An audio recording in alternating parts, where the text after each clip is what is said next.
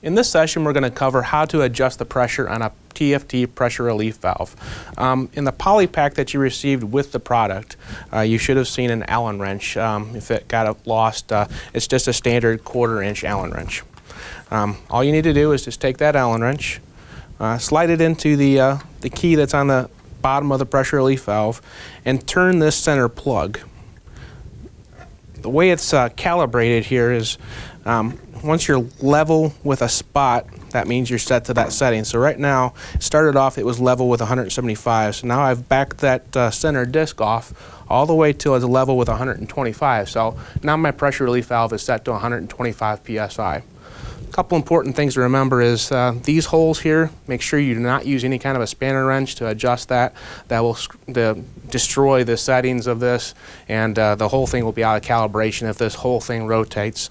Uh, you'll never mess with this plug over here. Only thing that you need to adjust is this Allen screw here with this quarter inch Allen wrench.